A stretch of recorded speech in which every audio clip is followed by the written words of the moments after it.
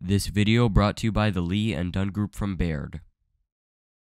Welcome to Time with Tai, where we focus on mastering the rhythms of life, parenting, and sobriety.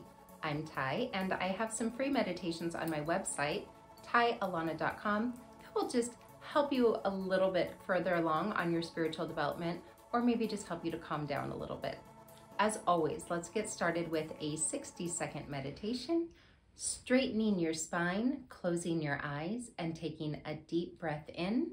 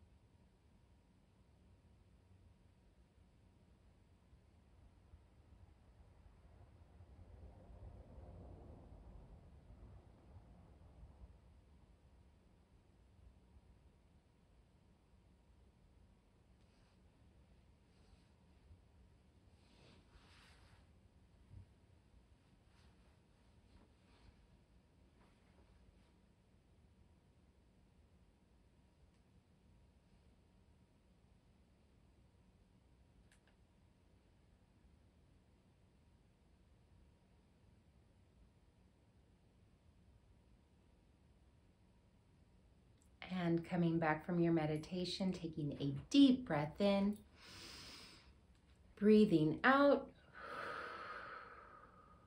Every week, I am reminding us, loves, to keep hydrating. So grab that glass of water,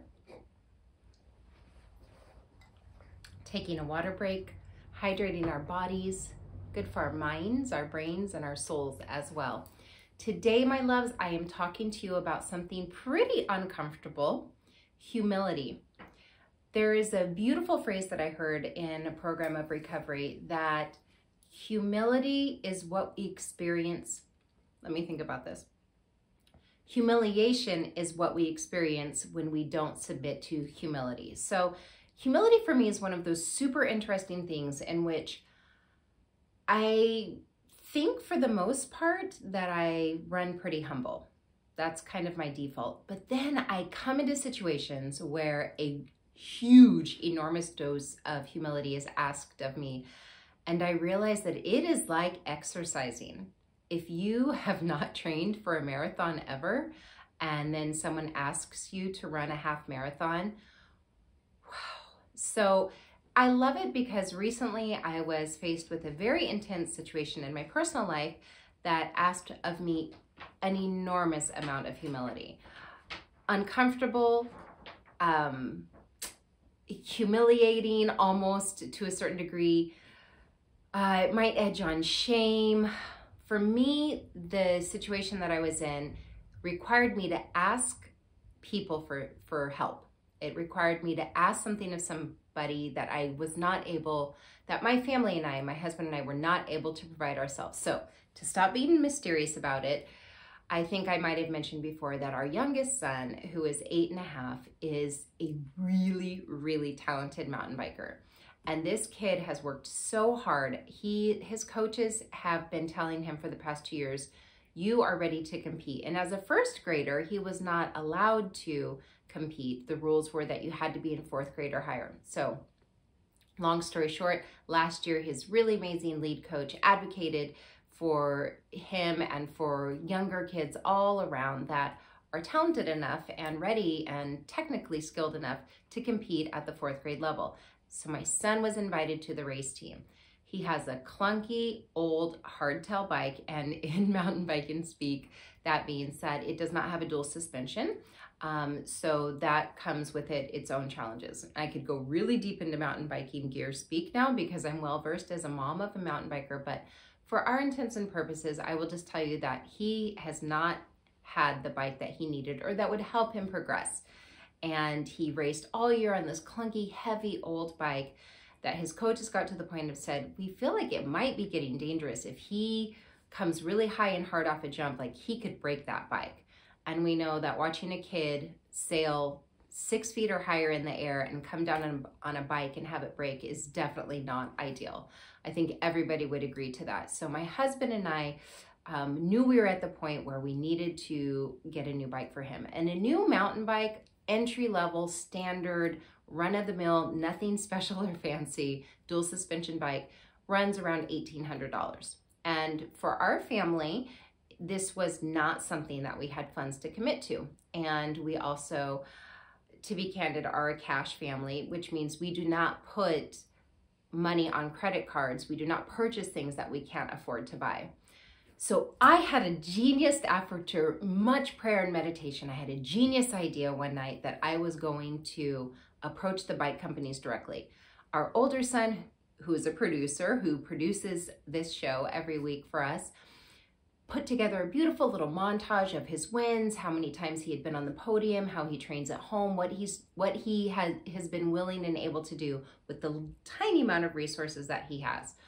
And we put together a very compelling letter and we sent it off to the bike company who will remain unnamed because they never answered us um, for this plea for a bike.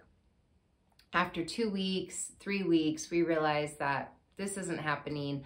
Um, actually, by fate, and when you put things out in the universe, this is a perfect example of asking for help when you put things out in the universe, I started talking about how we needed this bike, how we were approaching bike companies, what we were doing. And a very good friend of mine who produced the music for this show actually said, the person that owns a very large and a very professional race course of mountain bikers happens to be my neighbor. I've never spoken to the person, but I will walk across the street with your letter and your plea and I will ask him for help. This man sight unseen, not knowing me, not knowing my son, not knowing our family, agreed to push our letter really high up in the ranks of some uh, professionals and officials that run the mountain biking company that we were approaching for a bike. Unfortunately, it didn't work. So we knew that we were left to our own devices. Take out a loan for a mountain bike, not attractive for our family. Put it on credit, not something we're willing to do.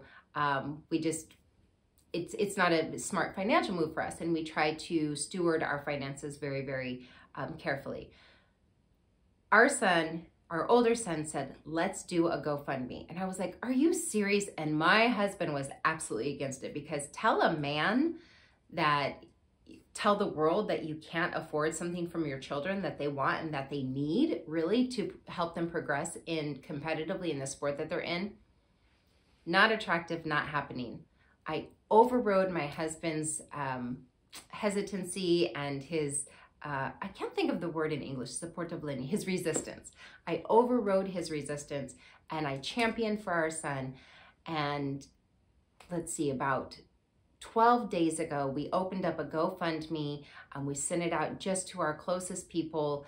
And I am happy to say that very emotional happy to say that yesterday we were able to purchase for him the mountain bike of his dreams and support his racing for at least the next year and a half, two years going forward because we smartly bought a bike that will transition from 24 inches to 26 inches.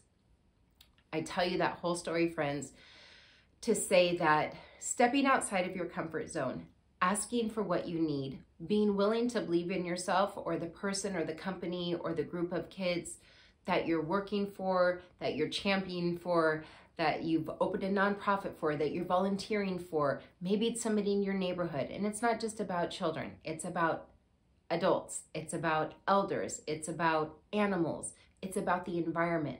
Whatever you're passionate about, whatever you believe in, it may be asked of you to come to a place of humility, a place of where you say, I don't have this. I don't have enough. I don't know what I'm doing. I need help. Asking for help is the most uncomfortable thing, one of the most uncomfortable things that I that I could ever do. I don't like to do it. I don't like imagining doing it. I don't even like talking about it, but I'm sharing this very personal, humbling story with you to let you know that miracles do occur. Asking for well for help is not a sign of weakness or that you're not good enough it means that we've come to a place in our life in which to progress, we need to be vulnerable.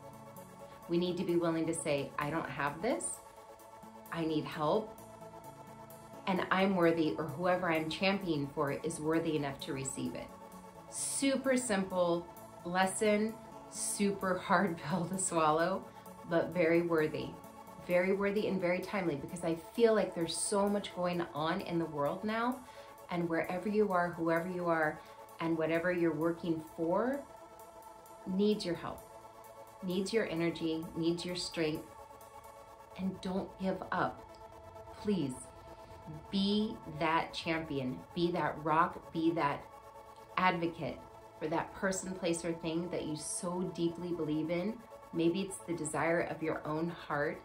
Don't give up on yourself. It will work. One way or another, at some point in time, it will work, my friends. I love you so much. I wish you the most beautiful weekend, and I will see you next week. Enjoy your fireworks.